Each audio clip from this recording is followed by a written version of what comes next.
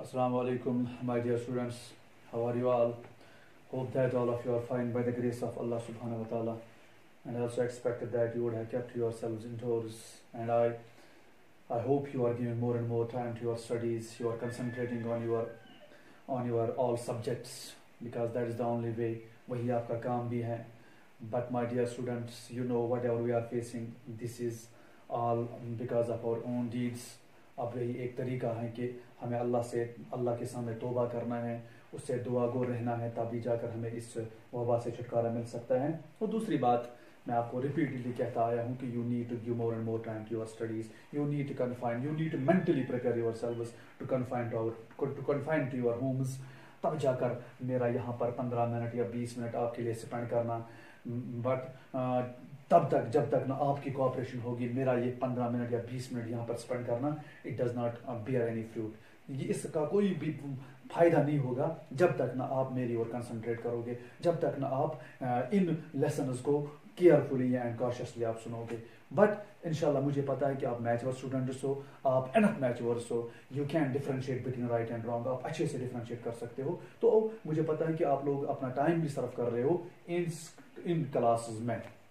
दूसरी बात my dear students undoubtedly I I am damn sure कि इसमें जो मेरा यहाँ पर आप लोगों के सामने आना इसमें कुछ शॉर्ट कमिंग्स आ सकती है। बिकॉज़ ये ये हमारा फ़र्स्ट एक्सपीरियंस है। नो no डाउट हमने क्लासेस में बहुत ज़्यादा लेक्चर्स दिए हैं, बहुत ज़्यादा क्लासेस पढ़ाए हैं। लेकिन यहाँ पर ये जो वीडियोस के थ्रू यहाँ पर डिलीवर करना तो ये यहाँ पर शॉर्ट कमिंग आ सकती है।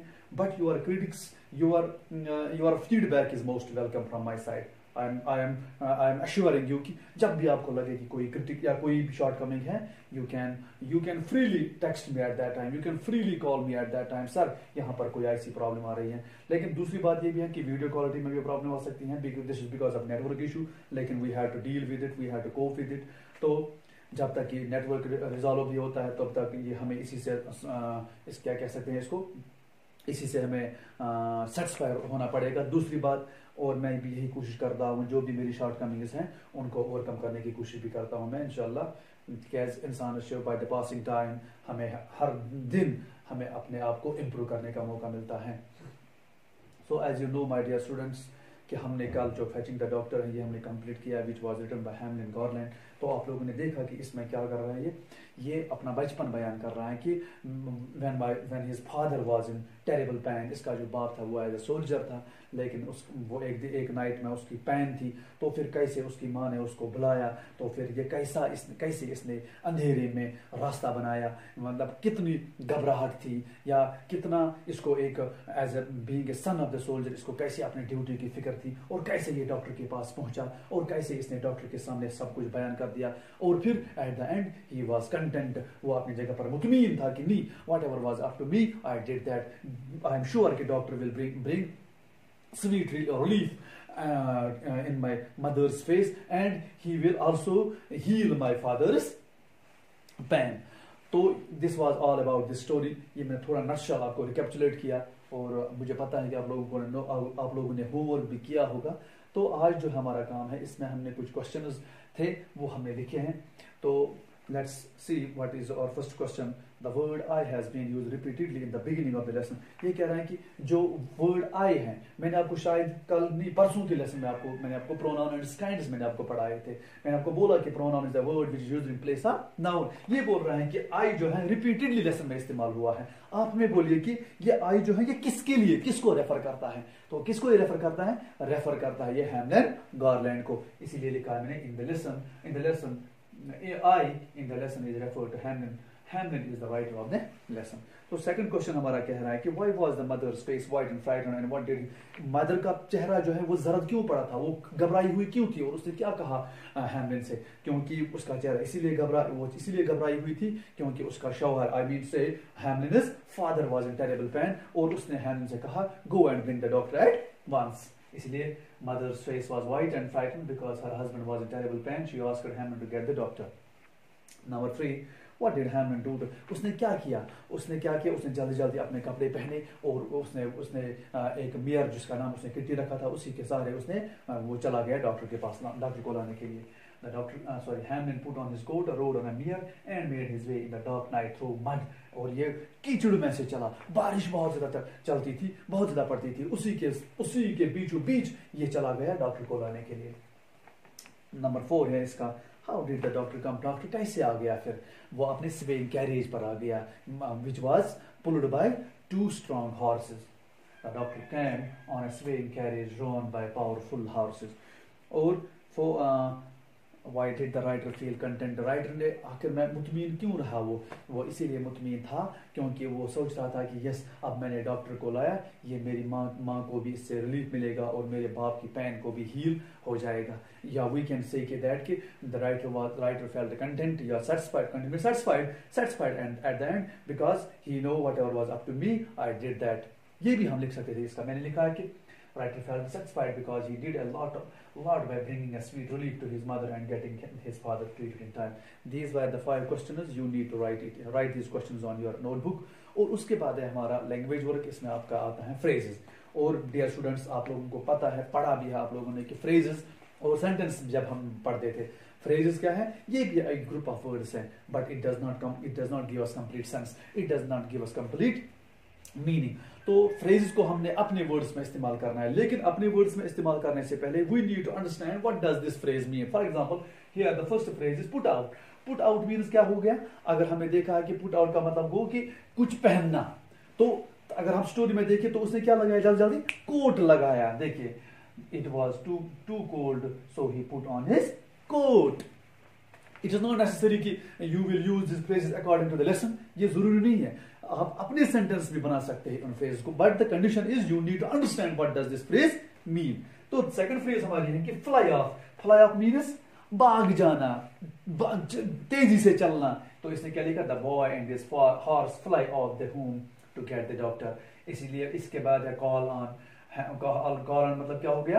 किसी को बुलाना, किसके, किसको बुलाने के लिए चला गया था ये डॉक्टर को? Hamlin call on his mare and went to doctor जिसने क्रिया अपने उस घोड़ी को उसने चिल्ला मतलब आवाज़ दी तो ये डॉक्टर के पास चला गया।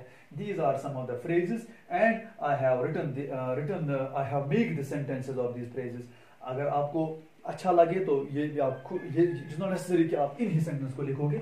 यस अगर आप ट्राई कर सकते हो, अगर आप you need to try more and more आप अपना भी इनको अच्छा सेंटेंस बना सकते हो इन फ्रेजेस को। तो ये था हमारा फ्रेजेस फिर आपका है और एक पार्ट इसमें वो है जिसको हम वन वर्ड आंसर भी कह सकते हैं। लेकिन इसका आंसर हमें इस बुक में भी निकालना है। देखिए first one is the lantern was moving from side to side because of the strong ये मैंने यहाँ पर नहीं लिखा है, लेकिन ऐसे ही बोलूँगा मैं। तो first one is the lantern was moving from side to side because lantern जो लालटीन यूज़ यूज़ योर हॉर योर पकान अंडरलाइन इसने जहाँ किया है कि moving from side to side एक साइड से लेकर दूसरी जगह, दूसरी साइड तक मूव कर रहा था। इसका हम वन वर्ड क्या बना सकते हैं? तो आप लोगों को याद होगा स्विंग इसको side to side moving moving from side to side के बदले आप इसको स्विंग का इस्तेमाल भी कर सकते हो डियर स्टूडेंट्स और उसके बाद हमारा है Hamlin, Hamlin was greatly surprised when he was awakened. ये परेशान ताजुब हो गया जब वो अचानक जब उसको बेदार किया गया। अवेकन सडनली तो उसको उसका रिलेवेंट मीनिंग सिमिलर क्या आ सकता है या साइनोनिम क्या आ सकता है? वन वर्ड में तो रोजड आ सकता है इसका। तो रोजड आपने R O U S E D तो Hamlin choose a particular horse because it was known इसने बहुत सारे घोड़ों में से एक घोड़े को चुना। क्यों क्योंकि it was known never to fail क्योंकि ये जहन नाकाम गसान तो इसको हम इसके बदले ब्रेव भी लिख सकते हैं brave he get he got employed in the army as a person carrying messenger as a per, per यानी कि one who per who one who uh, carries messenger messages from one place to another उसको हम कैसे कह सकते हैं messenger तो ये आपका हो गया ये भी तो उसके बाद हमारा ग्रामर वर्क है जिसमें आपको पढ़ना है एडजेक्टिव के बारे में and degrees of adjectives there are three degrees positive degree comparative degree and superlative degree लेकिन इंशाल्लाह इंशाल्लाह, अगर ज़िंदगी रही तो कल ये हम कंप्लीट करेंगे ये एडजेक्टिव्स और इसकी डिग्रीज आप लोगों ने इससे पहले भी पढ़ा है बट इंशाल्लाह कल हम दोबारा पढ़ेंगे इसमें। तो आप लोगों को पता है कि adjective is a word which qualifies और क्वांटिफाइज एनी नाउन और प्रोनाउन जो किसी नाउन या प्रोनाउन को क्वालिफाई करता है किसी सेंटेंस में। तो थ्री डिग्रीज भी हम देखेंगे इनशाला कल लेकिन आप फ़िलहाल इन क्वेश्चन को अपने कापीज में लिखिए कापीज पे लिखिए या फ्रेज जो हैं या वो जो वन वर्ड हैं। होप जो भी आप लोगों ने आज पढ़ा कि इनशाला एक्सपेक्टेशन यही रख सकते हैं कि you will try um, your, your level best your you will try at your homes आप कोशिश करोगे रिकेपचुलेट करने की आप कोशिश करोगे कि if there is any question in your minds आप फुल मतलब फ्रीली आप मुझे पूछ सकते हो, जैसे हम क्लासेस में करते आए हैं। दूसरी बात माय डियर स्टूडेंट्स एक बात मेरे और एक जहन में मेरे बात एक और बात मेरे जहन में ये भी आती है कि जो क्रिटिक्स हैं आई वेलकम योर क्रिटिक्स जो दो दो भी दो चीज़ आ सकती है। अप्रिसिएशन भी आ सकता है क्रिटिक्स भी आ सकता है। But believe me I welcome both critics भी क्योंकि क्रिटिक्स से जो, क्रिटिक्स जो है इंसान को उस क्रिटिक्स से या क्रिटिसाइज से सीखने का मौका मिलता है। जो अप्रिसिएशन है इंसान इंस्पायर हो जाता है। इंसान को अच्छा अच्छा काम करने का मौका मिलता है। इंसान को एक जज्बा मिल जाता है नहीं मेरे इस काम को सराहा गया है मैं इसको दोबारा करूँगा। बट दोनों को अप्रिसिएशन दोनों में फ़ायदा है। क्रिटिक्स में भी और ये अप्रिसिएशन में भी बोथ आर वेलकम मैंने आपको पहले भी बोला कि वीडियो क्वालिटी में प्रॉब्लम है या और कुछ तो बहुत सारे शॉर्ट कमिंग आ सकते हैं अभी बट इंशाल्लाह इंशाल्लाह with coming with by the coming time we will try our level best to improve all this तो इंशाल्लाह कल हम दूसरे लेसन के आप दूसरी लेसन के साथ आपके साथ आ, आ, मिलेंगे आपको। तो तब तक के लिए you need to care you need to take care of yourselves and your families and you need to confine uh, you, more and more time to your studies. You need to keep yourselves indoors. तो इंशाल्लाह कल फिर मिलेंगे तब तक के लिए खुदा हाफिज़ फ़ी अमान